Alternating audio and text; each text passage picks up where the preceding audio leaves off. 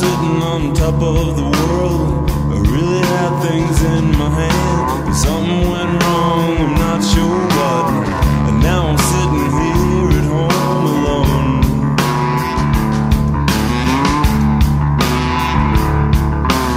People that wanna give you free advice, well, that's something that I always try. But you get what you pay for. That's what I say.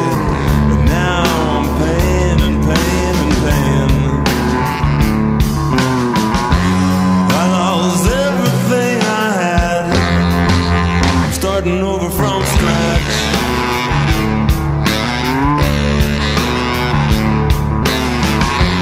I lost everything I had.